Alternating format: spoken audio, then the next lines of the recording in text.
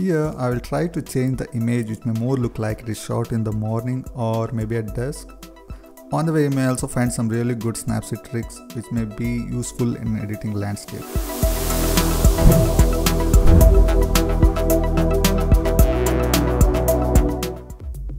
So first I will start with decreasing the highlights and shadows. I'll go to tune image. I will decrease the highlights to get some details back from the sky.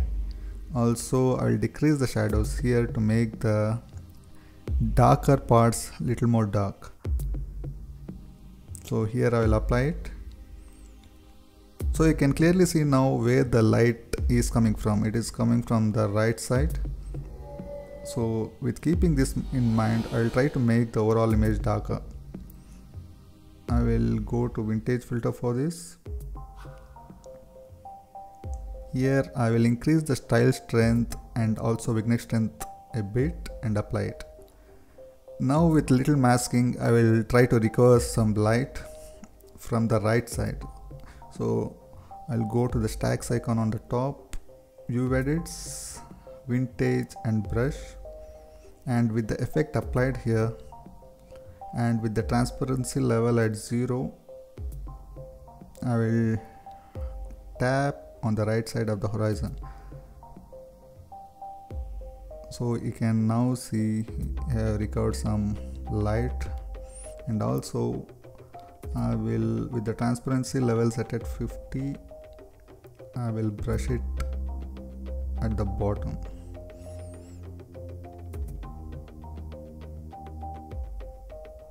So here you can see where the mask is applied now and I will apply this now I'll try to add some color to the sky.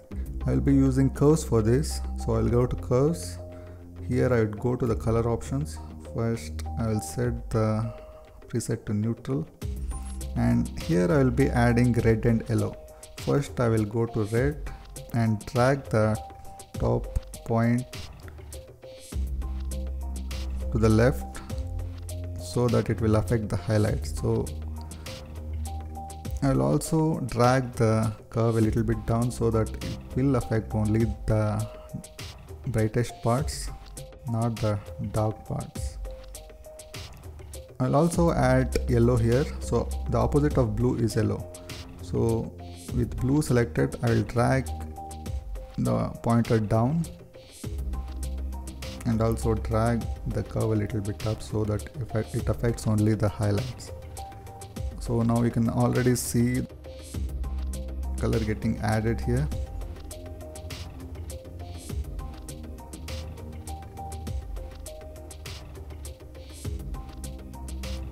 So I will apply this. Now I'll try to further boost the saturation of the sky. I will be using the selective filter. So here we'll add a little bit of saturation and also brighten it a bit. I'll also add one to this Empire State Building.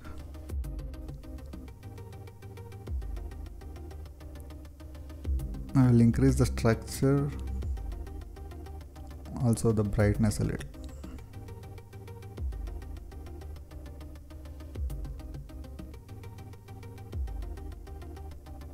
so I'll apply this. Here I will try to correct the white balance a bit. I will uh, decrease the temperature a little and increase the tint.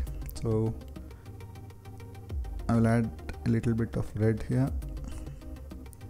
So it looks better now. And I will apply this. Now I will try adding little fog to the image so how do we do that? Again I will be using the curves tool here with the RGB selected. I will try to crush the blacks. That is move the lower point little bit upwards.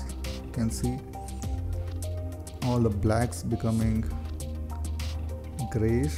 So I will apply this. And with masking stacks tool view edits the latest curves and brush will apply the effect on the horizon a little. So you can see the difference before and after. I will also remove the fog on the Empire State Building and with the transparency level at 25 I will brush it on this building. So now it appears the fog is only added on the background. So I will apply this. So here are the edits done. Here's the original. And here is the layer wise changes that happened. So this is the before and this is the after. Thanks for watching. Catch you soon